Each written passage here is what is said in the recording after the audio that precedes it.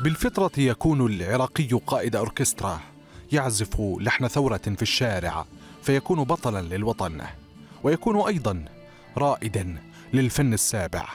المبدعون اليوم في فصل مسرحي لا تمثيل فيه إنما هي الحقيقة الموجعة.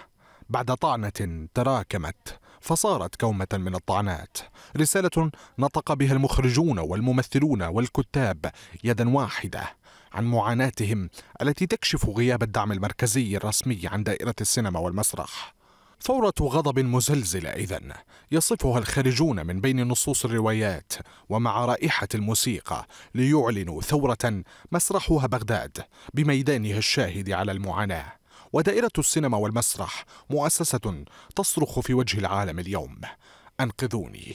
انقذوا دائرة السينما والمسرح. دائرة السينما والمسرح لازم ترجع للتمويل المركزي بدل من التمويل الذاتي.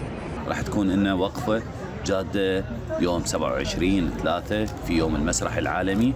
راح نكون آه، عند بوابة الخضراء وراح نقول كلمتنا. سنكون زلزالا على كل من يهدم الصرح الحضاري الفني في العراق. الثلاثاء إذن الذي يصادف يوم المسرح العالمي وقبل أن تعصف بهم الطعنات فيموت ما تبقى من الرشيد وتاريخ العراق أو تجبرهم الظروف على أن يرحلوا ليجدوا مسرحا يسمع حروفهم مسرحا يسمع عزفهم أو يلون الرواية بذوقهم.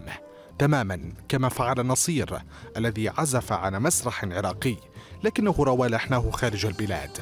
ماذا لو ظل في العراق؟